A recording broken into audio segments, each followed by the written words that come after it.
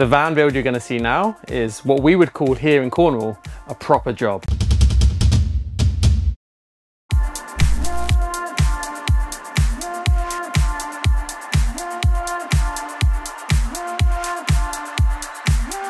We're getting up to a point where I've got everything that I can done until I finish off the plumbing and the uh, gas. Now, the gas is coming through the floor.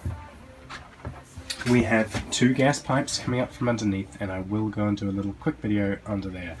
Now, this is in the cabinet that's going to hold the furnace and the hot water uh, on-demand heater. Now, these guys are both there. There is gas hooked up to, just seeing there in the dark, the, uh, the hot water heater and the furnace I don't have. And also behind me, underneath, we have the oven. Now this guy is all plumbed up and ready to go. Hose wise, now we do need to put the oven here and then go ahead and test that out. All right, so I'm gonna be painting some undercoat on the part just around the skylight in our bathroom. So this will uh, prep it get it uh, waterproofed. So let's go.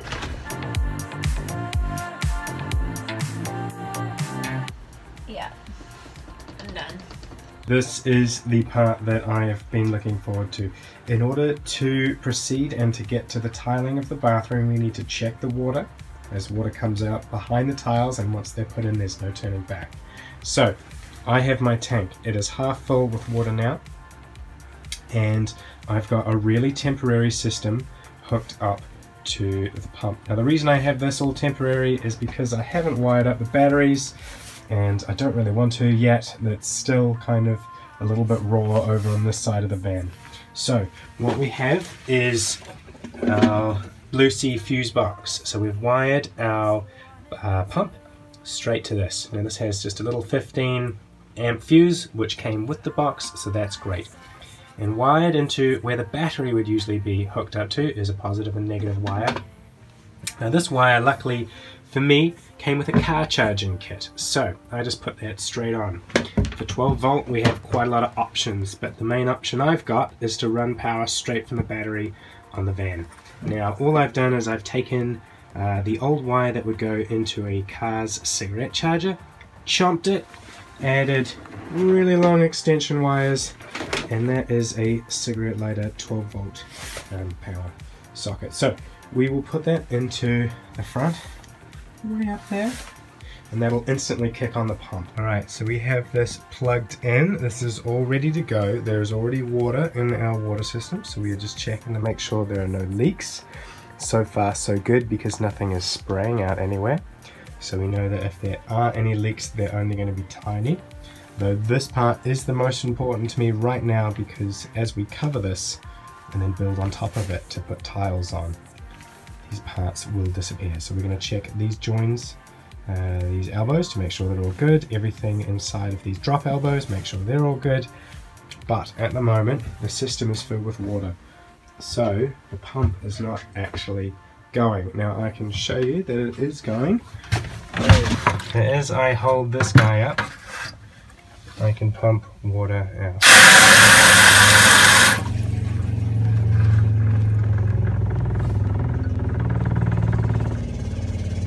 And that's the sound of the pump filling everything back up. So we have down in there in the dark zone under the sink, no leaks, this is all groovy.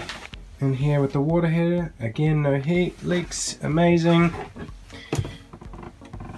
And then around where the pump is, no leaks top of the water tank, no leaks, and I'll just go quickly check down the back. But most importantly, if I don't trip over all the wires, is these shower guys. Now I can see just a drop here and here, which is okay because they are coming off. But otherwise, nothing else is coming out. So I'm going to put my bucket back here just to catch these couple of dribbles that are coming out of where the taped brass caps are. Okay, so we have put in a remote fill kit for the gas tank. So at the back of the van, I've put this little hatch. I say hatch, there's no actual cover for it. And this is just a solid steel port and we have the ability to fire gas in and that is the gas bleed. So just like with a water tank, um, when you put something into the tank uh, or try and equalize the tank, it has to have the ability to do so. So that is why there is a bleed. Now this tank kit connects in to our tank, which is this kind of ugly beast wrapped in insulation, which just sits under the van just behind our rear axle. Underneath the van we have, this is the back of the remote fill kit. So this is our bleed hose, there's our gas fill-in hose. It just kind of wraps up and under, ties in such a way that it's out of the way, and that runs into these top two points. Now we have our first gas hose. It's just in the middle here. It comes up and leads to this junction. So this junction is basically a bunch of branch connectors which allows the gas to feed in through here and then uh, go off into different directions. So we have our first point here which is our furnace second point here which is our on-demand water heater and the third point which is the gas uh, oven that leads comes up and over and then fires up into the base. We are finally getting ready to put all of the um, the shower room together. Now I have drilled my hole for my outlet and that drops down uh, nice and close to the fuel tank so uh, I've managed to put it in a way where I just have enough space, um, but we're pretty tight there. Now I've started up with what is going to be the framing and inside of these uh, framing bays we are going to have polystyrene insulation and then we're going to put our um, backerboard, tile backerboard on top of that. Um, we have our pipe sticking out. Pay no attention to these yucky holes. I uh, ended up having a bit of a nightmare trying to get a screw into the other side and, and not kinking my pipes, but we worked that out. Uh, we have our vent outlet um, for our Nature's Head toilet. This will be the 12 volt power that will go in and help that out. And now we have our wall. So our wall is framed up here and basically the plywood is doing most of the work but together um, with these timber pieces as well as our backer board, This will be a super solid sandwich, kind of like having plywood beams, um, but making our shower walls. So our shower just drops over this lower plate. This plate gives it support, so if you ever stood on it, it's not going to break. And then the shower tray itself has a little bit of a cutout. So we've had to do some work on this shower tray. And what I ended up doing was cutting the lip, flipping it, gluing it back in place. And when we put it in we will silicon around these joints. Then we're going to have silicon on the backerboard as well as a seal from the tile.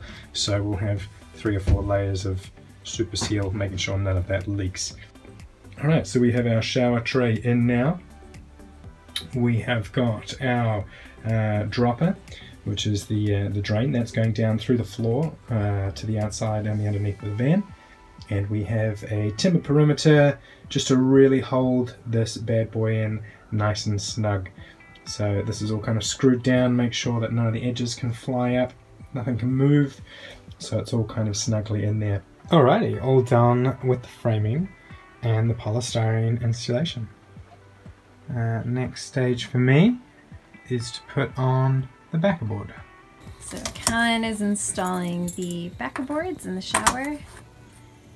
As you can see, shower trays already in. And once we get the backer boards on, we can start with uh, waterproofing it. So in here we have almost finished a shower.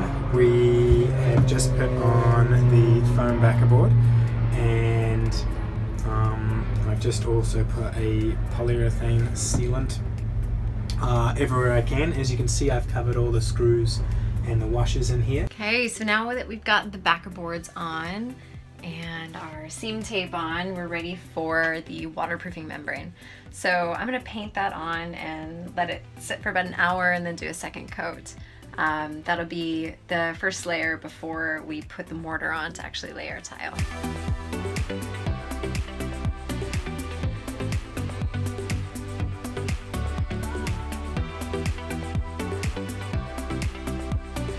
All right, we have another backer board. This one is going behind the stove and the countertop that's above the fridge. Uh, this will be a nice space for the tile that we'll eventually put there. So Kahn's finishing off the other side, so we'll also have some tile next to the sink, which is in this empty space. This side's getting waterproofed. Yeah, so we're gonna waterproof this the same way we have just done to the shower. Look at that cool looking purpley shower right now. So today we're working on the sliding door. We've just put in some insulation. So this is kind of soft, squishy insulation. It'll help fit into the corners, the little crevices of the door. So now that that's all covered up, we are working on getting our plywood cut. This is the door panel that will soon be going on. So I've just been sanding it down. This kind of nice tongue and groove look. Okay, we're getting very close. Actually, we're doing it right now. We're putting in the sink today.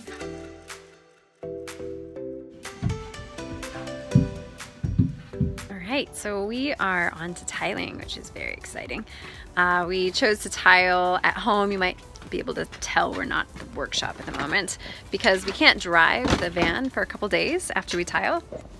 So we're just gonna do as much as we can and leave the van here until it's really solid. You can see behind me, Callan's got half of the back wall almost done. It's looking really, really good.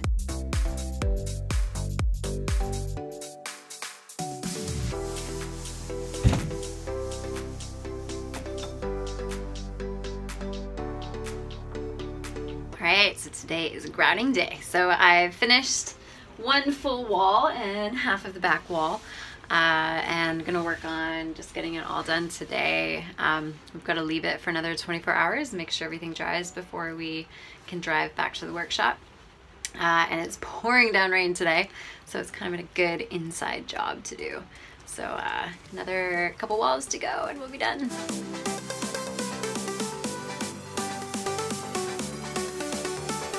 Check it out. Our shower is done. Well, mostly done. The grouting is done. Still need to put our faucet in. And today my project is to paint the ceiling. So we still just have the raw timber up there. So I'm gonna put a couple layers of primer and then our final coat of paint that will make it pretty much ready for the door to go in. So we've got a Nautilus shower door that will fit in this space and close it off. So our windows are ready to go in today. We have relatively uh, a relatively dry scenario for us to get this sussed.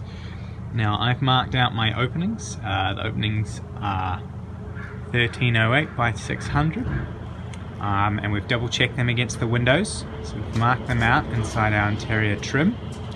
We've also given them a two inch radius up in the corners up in here.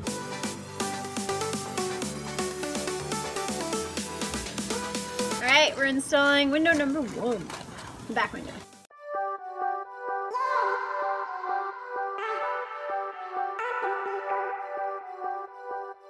Song is gone, I'm latching on, don't even know your name but you're still in. We managed to get our windows in yesterday, which was nice because it's the one uh, good day that we get this week, weather-wise. Um, so now the next stage for me is to try and uh, dress up all of this stuff. So I have essentially the wraparound detail that I'm going to put around the windows. And my goal is to hide all of the white all of the existing van. I basically want to make that completely disappear.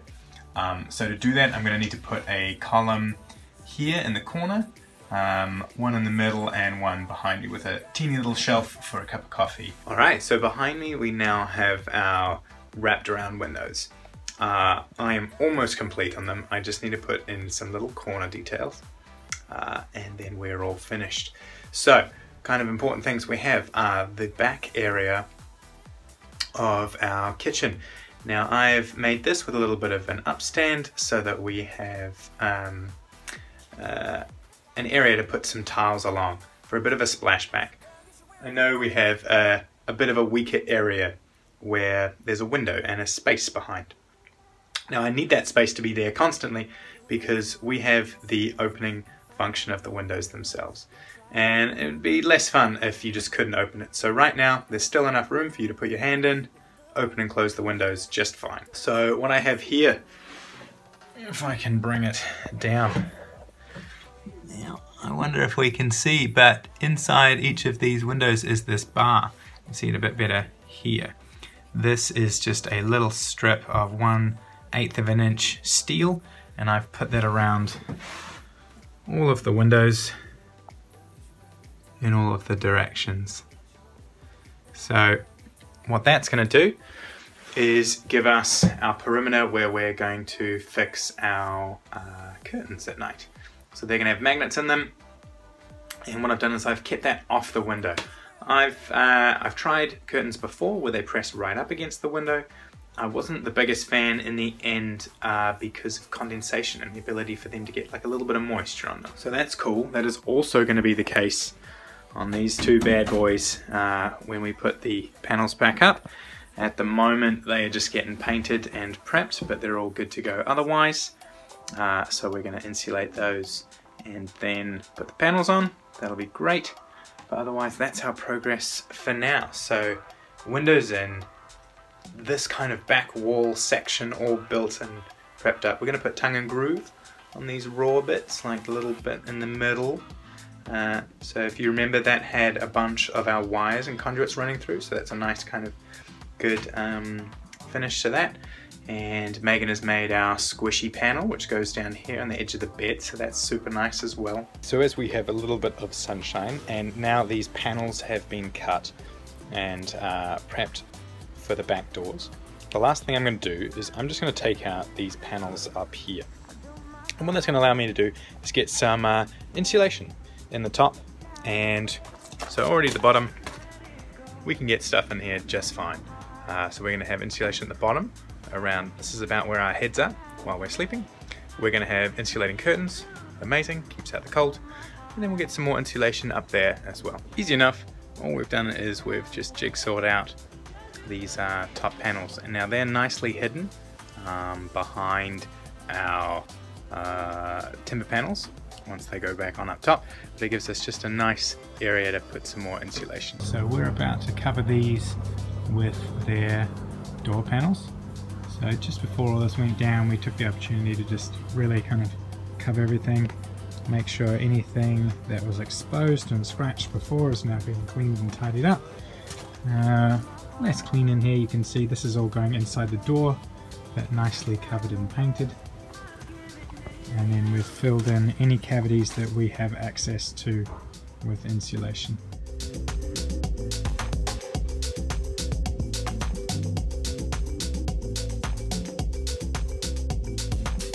Today? December 27th? Yeah, so we're three months in.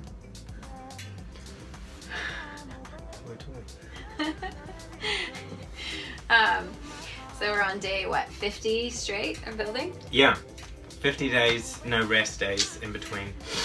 Oh. That's been um, highly entertaining.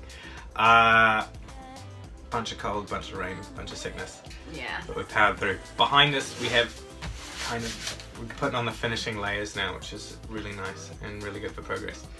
Um, so we have tongue and groove. You guys can just see we have tongue and groove on the underside of our cabinetry, and pretty much anywhere where there's raw plywood that's left. Um, what that does is it really changes the space from being a uh, raw kind of workplace into a really nice uh, homey feel. Okay, so a little update. I've been busy painting. So painting the bed area, basically getting all the cupboards ready. Um, most areas have at least a couple coats of primer and a top coat on. So varnishing will be next. Um, also, I've been working on curtains. So we really wanted to get insulated curtains that would work both as blackout curtains, but then insulation as well, because we're gonna lose a lot of heat out of these windows. So I've made these, which are very handy because they connect with magnets. So these are still unfinished, but we essentially just use these little uh, rectangular bar magnets that fit into these steel bars along the window frames. So I made one for each window. We also have a big one that fits at the front and that is basically blocking off where the front seats are to the back of the van. So I'm gonna finish up these ones. They're amazing. Already super happy with them. Um, connect straight in and just require a little bit of fiddling to get them in. But yeah, they're looking good. Got one for each of our new windows as well. Also give you a look at the painting job we've done. The last of the build from the timberwork side of things for me is the cabinetry fronts for uh, the kitchen, basically the lower part. Then I'm going to build the doors for the open and closing um, cupboards up top and also then the drawers. So these guys are kind of the fronts of our cabinetry. So still a decent size. Um, and I'm just putting together the last one now. Uh, just pre-drilling it with my Kreg jig and uh, yeah, going from there. So this right here is a, uh, a stack of unmade drawers. Um, that's basically my plan for this morning and this afternoon is to kind of pre-drill all the holes, get them all ready, check them all up and build them. At that point then I can pass them over to Meghan who can uh, paint them all for us before we chuck them in.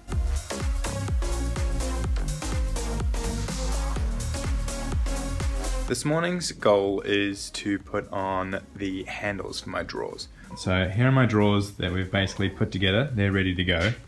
And all of these handles are going to go up here like so, but inside of the plywood. So in order to do that, I have to route all these out. And uh, using a router is a bit crazy if you're trying to freehand it. So the best way to do it is to put it and make it some sort of jig. So that is what I've done over here. So just as a, uh, a drawer, as a nice base, I've clamped this other drawer, which is the one I'm about to use, to my table, so we can't move anywhere. And I've created this kind of picture frame. Um, and then with this and this kind of grid that we all line up, the router can move around within here and it will take out an area of plywood just enough for this.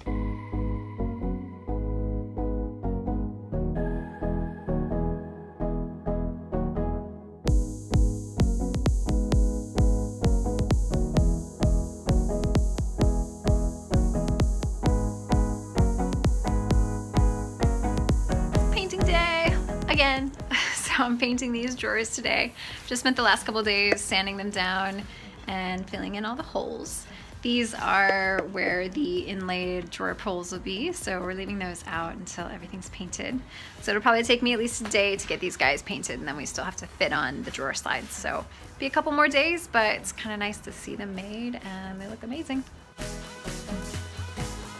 Righto, oh, I am super stoked to have finally sussed out the furnace. Uh, turned out that the furnace actually needed two um, exhaust points rather than one.